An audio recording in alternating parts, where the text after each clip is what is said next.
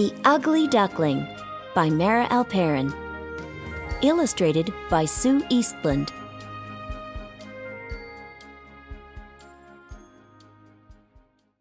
When you hear this sound, it's time to turn the page.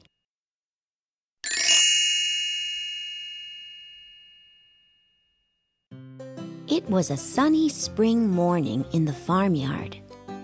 Mother Duck sat proudly on her nest. Come quickly, she called to the other animals. My eggs are beginning to hatch. Crack, crack, crack, crack. Out tumbled four perfect little ducklings. They were soft and fluffy and yellow. Ooh! Lovely! Aren't they just the sweetest ducklings ever? Oinked the pig.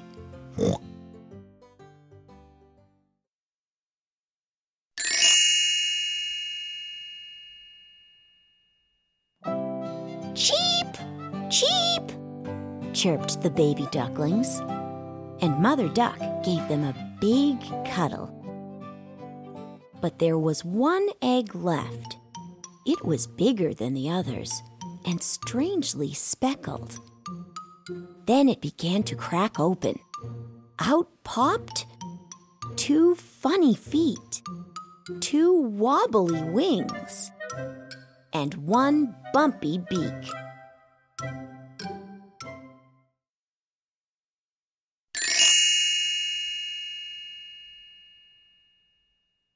Mother Duck gasped. He didn't look at all like her other baby ducklings. What a strange little creature! Such a funny color! He's a very ugly duckling, snorted the pig. Hush, scolded Mother Duck. He's my baby and I love him. Now come along, children. It's time for your first swimming lesson.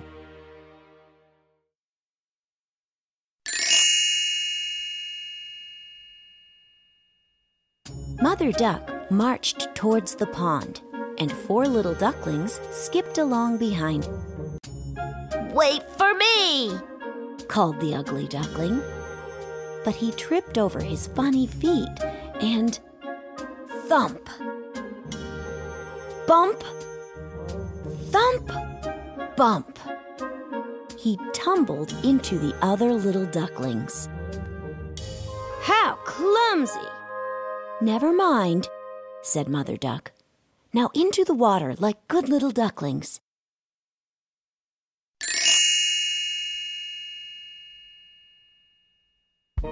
Let's sing our duckling song, Mother Duck called. Quackity quack quack, quack quack, chanted the four little ducklings. Honkity honk, the ugly duckling sang happily. What's that? hooted the horse. You don't sing like a duckling. Now, now, said Mother Duck. He'll learn in time.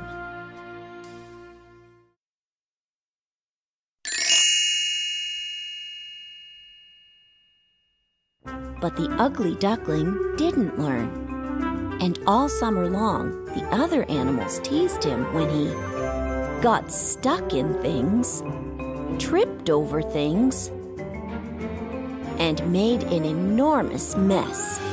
How embarrassing!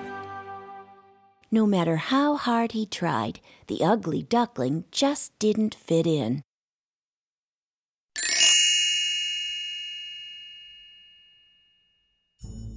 Why don't you go away? squawked the other little ducklings. You're noisy and messy, and you're ruining our fun. Just then, they heard Mother Duck calling for her children. Not you! shouted the ducklings. And off they pranced, leaving the ugly duckling behind. Oh, why does no one want to play with me? sighed the ugly duckling. No time to play. Said a mole, popping his head up. I'm digging a new tunnel for the winter. Can I help? asked the ugly duckling, and he poked his bumpy beak underground.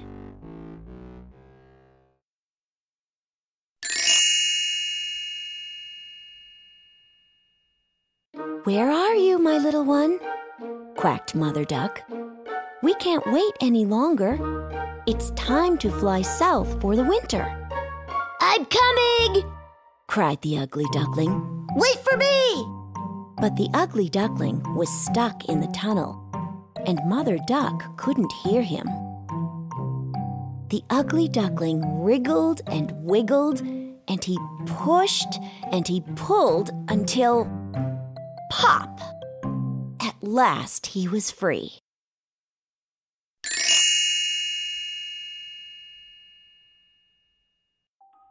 But it was too late. They had left without him. Oh no, sniffed the ugly duckling. I'll never catch up to them now. I'm all alone.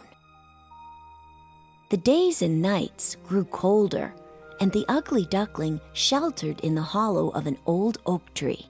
And as the snowflakes fell, he curled up in his long wings and dreamed of sunny days and games in the meadow.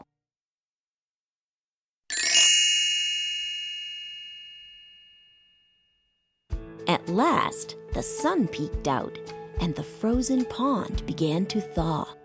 Then one day, a beautiful swan glided across the sparkling water.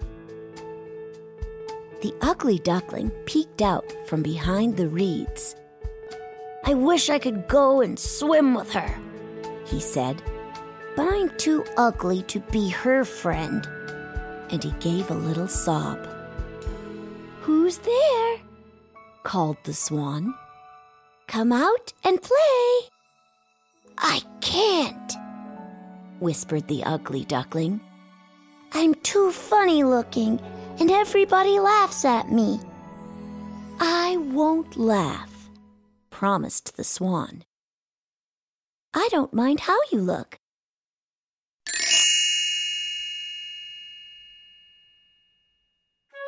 So the ugly duckling took a deep breath and stepped outside. But you're beautiful, exclaimed the swan. Look! And he looked down at his reflection and saw that she was right.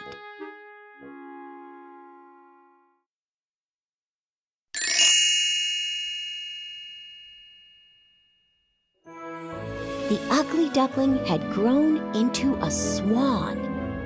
A beautiful, elegant swan with dazzling white feathers and a long, graceful neck.